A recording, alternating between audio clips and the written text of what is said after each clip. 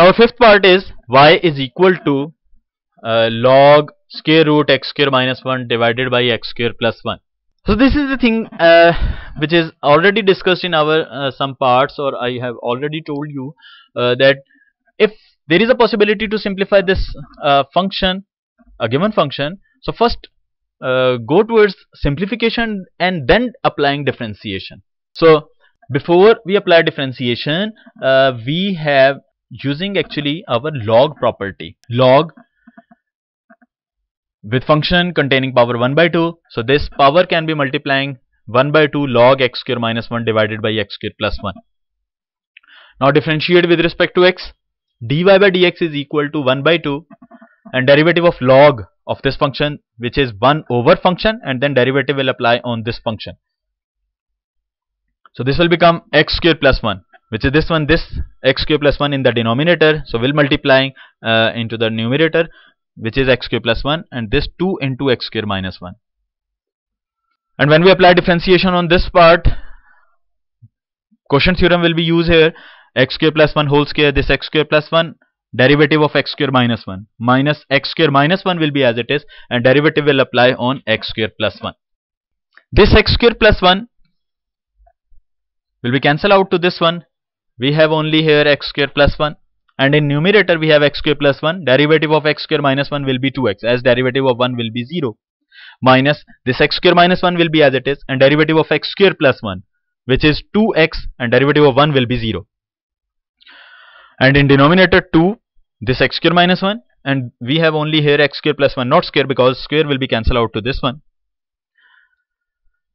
2x taking as a common factor we have x square plus 1 and minus x square and minus and minus will become plus 1 2 x square minus 1 and x square plus 1 by using a formula of uh, algebraic formula a minus b and a plus b which is actually a square minus b square. So we have a square. So that is actually x square whole square minus 1 square which is x4 minus 1 this x square will be cancelled out. We have 1 plus 1 2 this 2 will be cancelled out 1 plus 1 will be 2 2 into x will be 2x and x4 minus 1 which is our required uh, differentiation of the given function. And from here there is also another direction to solve this question that uh, here we apply a log property log x raised to the power n which can be written as n into log of x which is actually this one 1 by 2 will be multiplying to this log x square minus 1 and x square plus 1 and then differentiation will apply and solving this that will become required result.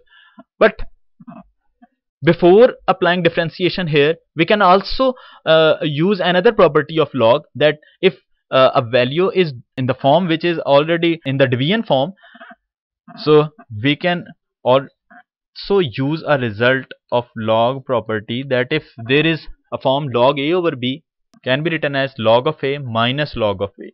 So if, if we use this property then this question will become more simplify or more easy because we will not use of quotient theorem here as if we applying a log property here that y is equal to 1 by 2 log x square minus 1 minus log x square plus 1 so you can see that there is no more uh, form here. So uh, we will not use our quotient theorem which is uh, a little bit a lengthy way to simplify this one. This is actually uh, an application of um, quotient theorem.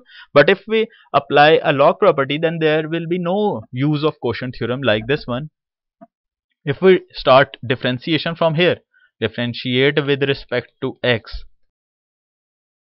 That can be written as or applying differentiation rule dy by dx this 1 by 2 will be as it is and derivative of log x square minus 1 will be 1 over x square minus 1 and then derivative will apply on x square minus 1 which is like this one minus and similarly when we apply differentiation on log this one that is 1 over x square plus 1 derivative will apply on x square plus 1 1 by 2 this x square minus 1 when we apply differentiation that is 2x x. Square minus 1 will be as it is minus similarly derivative of x square plus 1 again will be 2x x. Square plus 1 will be as it is 2x can be taken as a common factor. We have 1 over x square minus 1 1 over x square plus 1 this 2 will be cancelled out. So by simplifying or by taking LCM x square minus 1 x square plus 1 this x square minus 1 will be cancelled out. We have x square plus 1 and x square plus 1 will be cancelled out. We have x square minus 1 applying this minus this will become minus x square plus 1 this will be cancelled out. 1 plus 1 will be 2x and in denominator using algebraic formula a minus b and a plus b will become x square whole square which is x4 minus 1 so that is also another approach to solve the question. Now the next part is part number 6 y is equal to log x plus square root x square plus 1 solution differentiate with respect to x. So dy by dx will become 1 over as log f of x so by using differentiation differentiation formula of log f of x is 1 over f of x which is this one and then derivative will apply on f of x which is x plus square root x square plus 1 this will be as it is 1 over x plus x square plus 1 square root and derivative of x plus x square plus 1 will be uh, applying both of these two terms. So derivative of x will be 1 and derivative of x square plus 1 will be 1 over 2 x square plus 1 with power minus 1 by 2 and then derivative will apply on x square plus 1. 1 over x plus square root x square plus 1 this one will be as it is plus 1 by 2 this x square plus 1 with power minus 1 by 2 converted to the denominator will become a positive power can be written with square root. And derivative of x square plus 1 1 derivative of 1 will be 0 and derivative of x square will be 2x this 2 will be cancel out this 1 over x plus square root x square plus 1 will be as it is.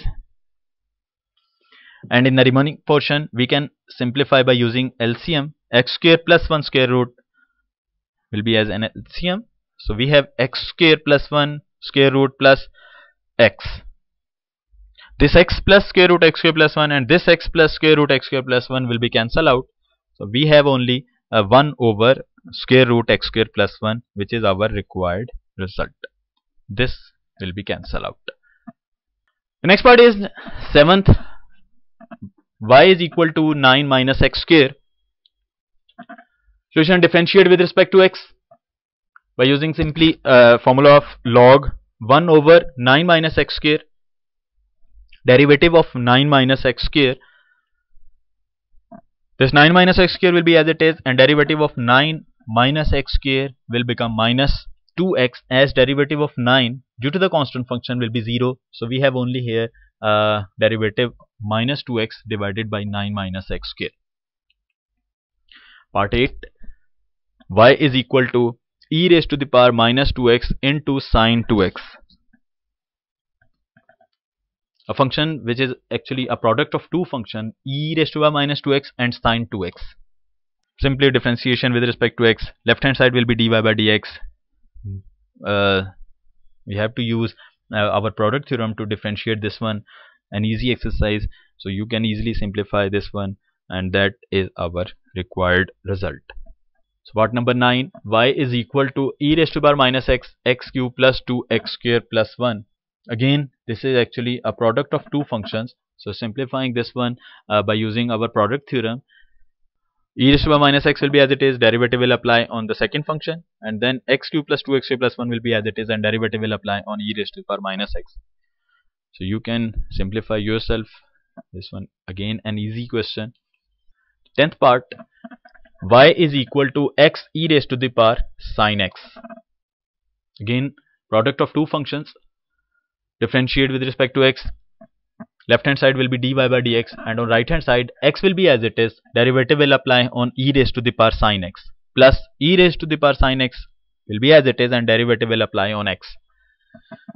X will be as it is. As we already discussed in, uh, earlier in this exercise that e derivative of e raised to the power f of x will be e raised to the power f of x and derivative will apply on f of x. Here f of x is sine x. So we have e raised to the power sine x and derivative will apply on sine x plus e raised to the power sine x will be as it is and derivative of x will be 1 x e raised to the power sine x and derivative of sine x will be cos x plus e raised to the power sine x into 1 will become e raised to the power sine x and e raised to the power sine x as a common factor will come out uh, from this expression and we have only here x into cos of x plus 1 a required derivative of the given function.